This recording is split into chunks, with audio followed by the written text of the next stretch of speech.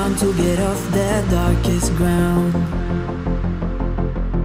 But gravity pulls you straight down. Earth from a bird's eye view. You should grow feathers and see this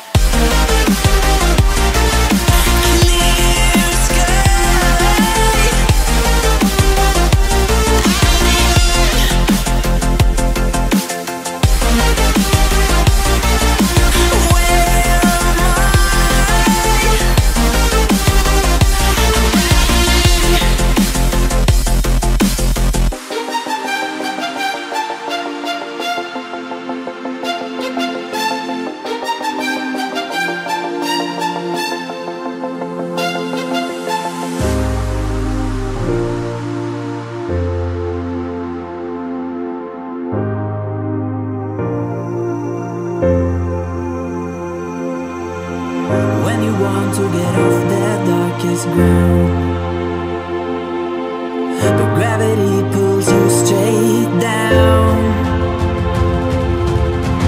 Earth from a bird's eye view. You should grow feathers and see